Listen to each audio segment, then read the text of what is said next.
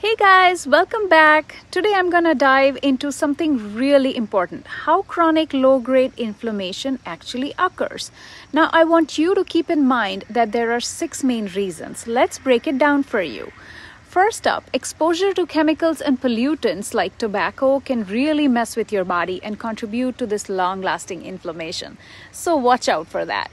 Secondly, if your diet doesn't include fresh fruits and veggies, healthy fats, herbs and spices, well, that can also be a factor in this issue. So maybe it's time to start adding that good stuff to your plate.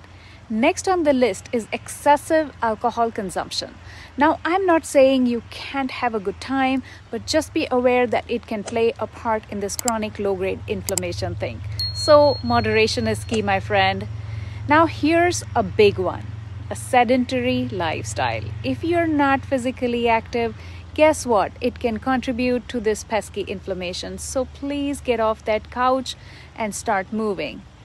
Feeling stressed or social isolation has also been linked to this condition. Yeah, it's true. So take care of yourself mentally and emotionally. Find ways to relax and connect with others. It's good for your body too.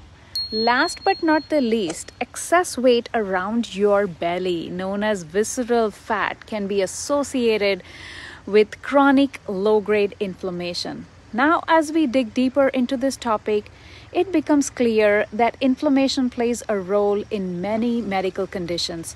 So don't forget to stick around for our next video where we'll talk about effective strategies to put out these slow burning, smoldering fires. Trust me, you won't want to miss it. Thanks for watching guys and don't forget to like, save and share this video to keep me relevant on this platform so more people can benefit from this information. And we'll see you next time.